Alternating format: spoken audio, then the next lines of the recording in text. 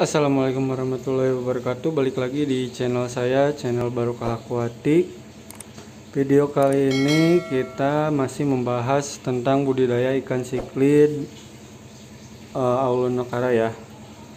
Nah Sekarang kita menuju ke step yang ketiga Yaitu perawatan burayak. Ini yang kemarin kita panen Tanggal 22 Sekarang tanggal 30 Desember ya berarti udah hampir satu minggu lebih. Saya sudah agak gede lihat. Bisa dilihat. Perawatannya cukup mudah. E, saya ini penggantian air tiap seminggu sekali ya. Seminggu sekali 50% kita ganti airnya sambil sipon yang bawahnya aja ya. Supaya si ikan tetap stabil untuk pakan kalian bisa pakai cacing sutra atau juga artemia atau juga e, kutu air ya. Sampai umur satu bulan dia bisa masuk pelet. Cuma e, kalau umur satu bulan jadi pelet diseling aja sama pakan hidup ya biar agak cepet gede. Nah kalau udah umur satu bulan ini kan e, akuariumnya 50-30 uh, jadi kalau size nya udah agak gede kalau saya dipindahkan ke akuarium yang seperti ini. Nah ini. Ini umur satu bulan lebih ya. Ini saya panen 15 November. Sekarang tanggal 30 berarti satu bulan lebih.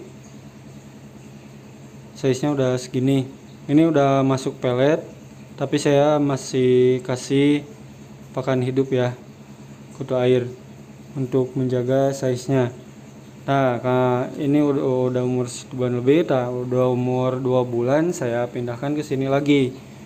Ini kan 50 75 eh 50 70 akuariumnya.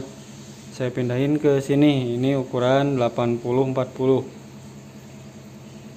kalau ini saya di sini sengaja agak gelap karena mau misahin eh, ini kan campur ya kemarin pas pas belum ada akuariumnya jadi saya campur antara red plus sama OB peacock kalau di sini kan kalau gelap kelihatan ya yang mana OB peacock yang mana red plus oh.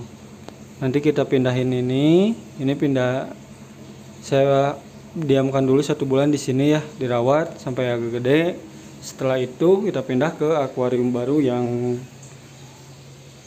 saya buat. Ini ukuran 1 meter 40 40 ya. Contohnya seperti ini. Agak gelap belum di ini belum dikasih lampu ya. Ini saya sudah 5 cm lebih per 6 sentian hampir mendekati indukan ya. Di sana OB peacock, di sini red plus. Nah, perawatannya cukup mudah ya. Jadi kalian perlu ganti air aja seminggu sekali. E, jangan ini ya kalau siklid jangan sampai apa? Sampai 100% karena ikan ini mudah ini kalau 100% kalau air baru belum diendapkan pasti stres ya. Di dia akan mengap di atas saja. Jadi baiknya 50% aja. Nah setelah 50% jangan langsung dikasih makan ya. Tunggu satu jam dua jam lalu kita kasih makan. Untuk penggantian air juga jangan dulu kasih makan. Ganti dulu airnya tunggu satu jam lalu kasih makan. Nah seperti ini ini udah umur satu bulan lebih sama. Hampir dua bulan ini mah beda dua minggu sama ini. Hmm.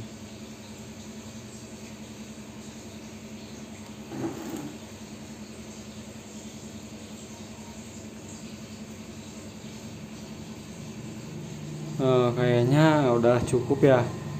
Mungkin perawatannya seperti itu aja. Kalian cukup saja pakai aerator ya. Pakai mesin juga bisa. Tapi kalau pakai mesin saya sarankan pakai filter talang seperti ini. Hmm, seperti ini ya. Karena lebih aman sih kalau cuma hanya filter pakai busa aja. Eh, itu menurut saya kurang optimal ya kurang bagus.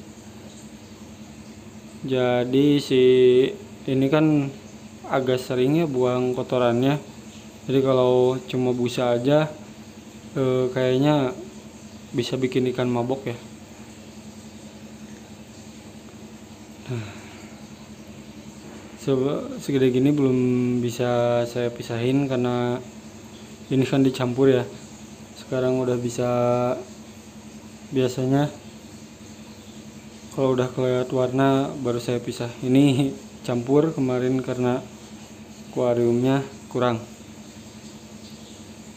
Uh, oke mungkin sekian ya dari saya. Penjelasan step 3 gimana cara perawatan burayak sampai dia masuk pelet sampai dia gede ya.